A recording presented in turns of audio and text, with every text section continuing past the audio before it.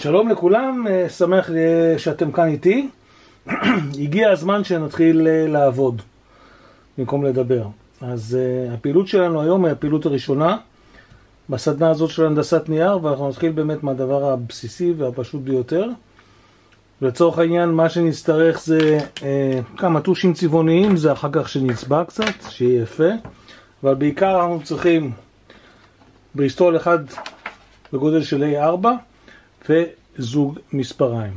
אלה שני הדברים שצריך, והבה ונתחיל לעבוד. דבר ראשון שאני רוצה ללמד ולהראות זה בעצם איך אנחנו מקפלים דברים. בהנדסת נייר, מה שאנחנו נעשה בסדנה הזאת, הקיפול הוא משמש בעצם כציר.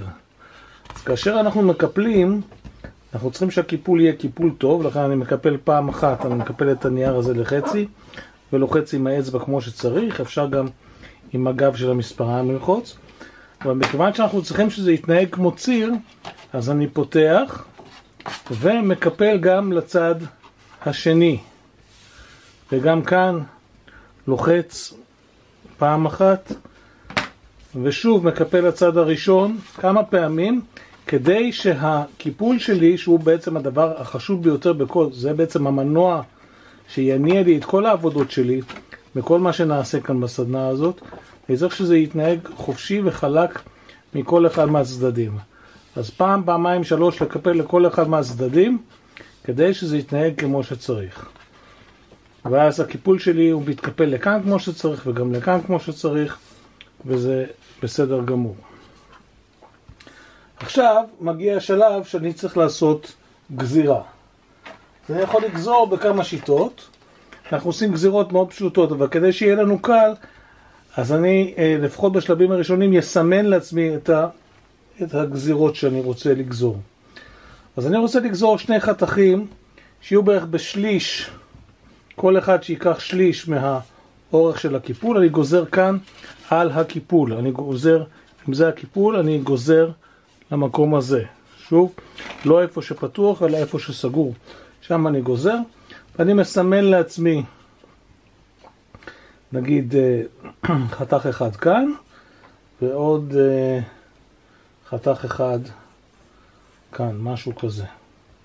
אני דואג שהם שניהם יהיו ישרים, ניצבים לקיפול כאן, ושהם יהיו גם פחות או יותר באותו אורך. אני, אם יש לי משטח כזה, ואני מאוד ממליץ שיהיה לכם משטח כזה כדי לשמור על הרהיטים, שלא תריבו עם ההורים, אז זה, זה יהיה לכם קל, כי המשבצות כאן עוזרות מאוד לחשב את הדברים.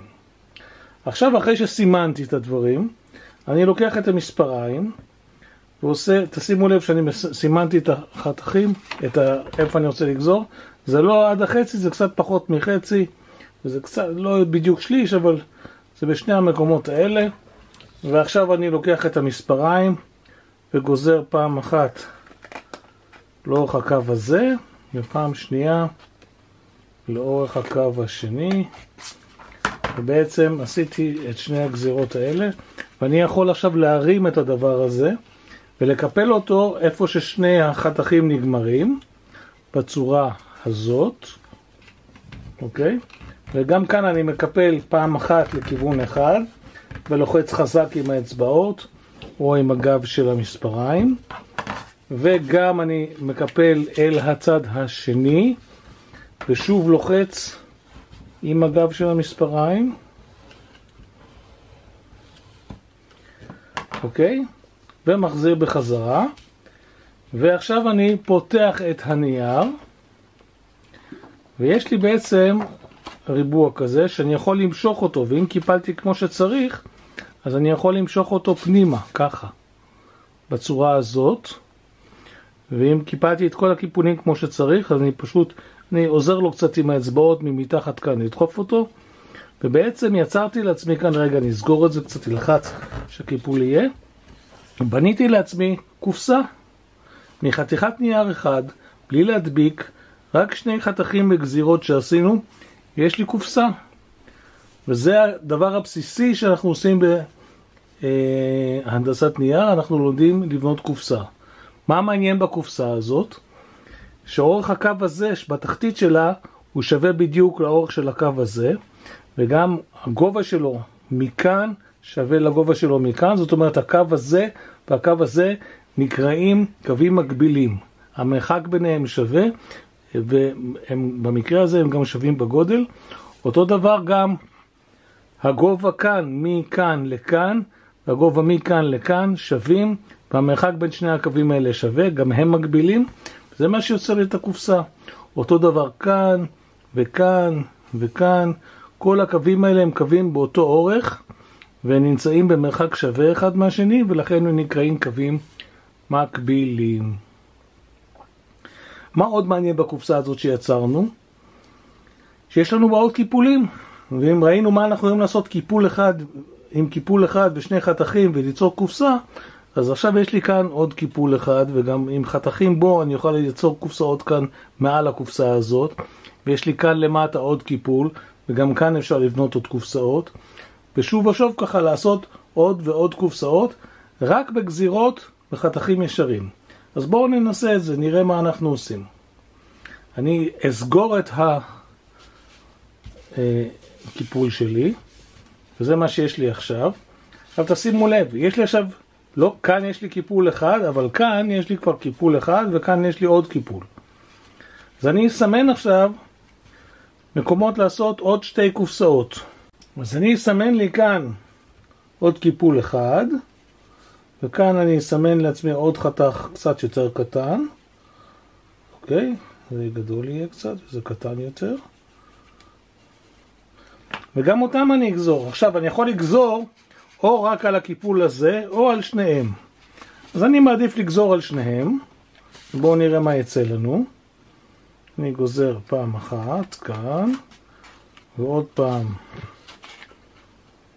כאן, וגם את הקטן, וכאן גם. ועכשיו אני מקפל, כמו שראינו, מקפל פעם אחת לכאן ופעם אחת לכאן, זה של הקיפול העליון. הקיפול התחתון גם כאן יש לי עוד אחד, אז גם אותם נקפל לכאן ולכאן ונהדק היטב ואפשר גם לקפל לצד שני, אבל אנחנו, אה, אה, הנה אנחנו מקפלים את זה לשני הצדדים, לכאן ולכאן, את שניהם, וגם את אלה. לשני הצדדים, לכאן ולכאן. ועכשיו אני, שוב, אני פותח את הדברים שלי, ואני עכשיו יכול לדחוף עם האצבעות את הקוביות הקטנות יותר, את הקופסאות הקטנות שבניתי לעצמי. ועכשיו יש לי קופסה כאן, ועוד אחת כאן. בואו נסגור, נהדק רגע. תראו. כמה חתכים עשינו עכשיו? 1, 2, 3, 4, 5, 6. שישה חתכים, תראו איזה דבר יפה בנינו. אוקיי? אפשר להשתמש עוד בחתך הזה גם כאן לעשות קופסה קטנה, אז בואו נסגור גם אותה.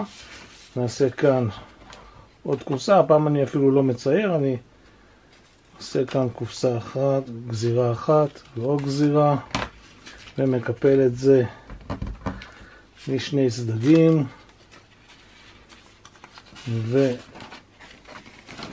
ופותח ודוחף את זה פנימה ועכשיו יש לי כבר עכשיו מה אפשר לעשות עם הדבר הזה? כל מיני דברים. אני יכול, א', אני יכול להסתכל על זה בצורה הזאת, אבל אני גם יכול לסובב את זה ולהסתכל על זה בצורה הזאת. זאת אומרת, אפשר לחשוב על זה ככה וככה. א', זה יפה כמו שזה בתור פסל יפה.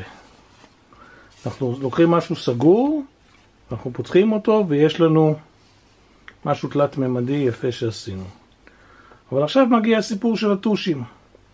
ואפשר להתחיל לצבוע את הדבר הזה. ולהגיד שזה בעצם בניין, שיש לי בו חלונות,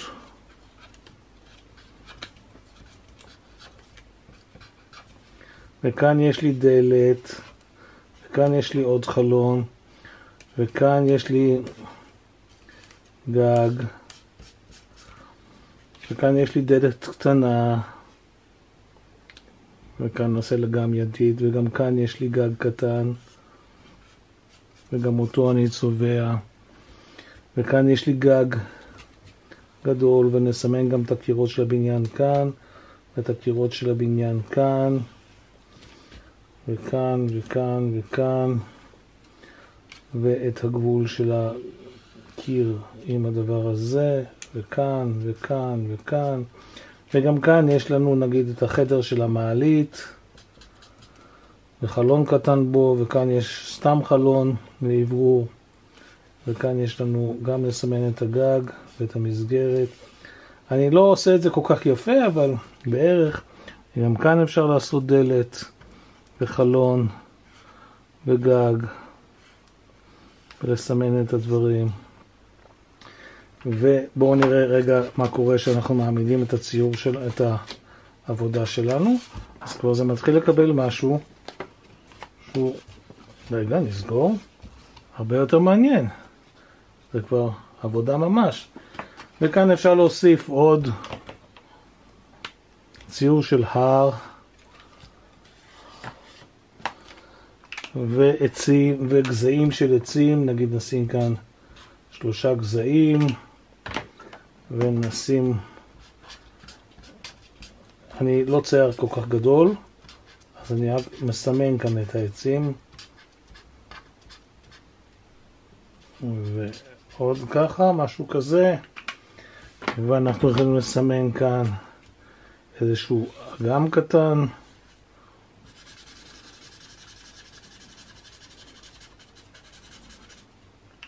ואם נעמיד את זה עכשיו אז זה כבר מקבל משהו הרבה יותר מעניין ואז אנחנו יכולים לעשות שבילים שמובילים לכאן ומובילים לכאן ולחבר אותם ושזה יהיה מין כביש כזה שגם מוביל לכאן לעשות כאן בכלל סיפור שלם של הדבר הזה אוקיי? והכל אתם יכולים לעשות בעצמכם וכאן עשינו בסך הכל שמונה גזירות פשוטות אז זה הדבר הראשון שאתם יכולים לעשות ואני מקווה שהבנתם את הרעיון עכשיו התור שלכם להתחיל לשחק ולעשות דברים כאלה. תודה רבה.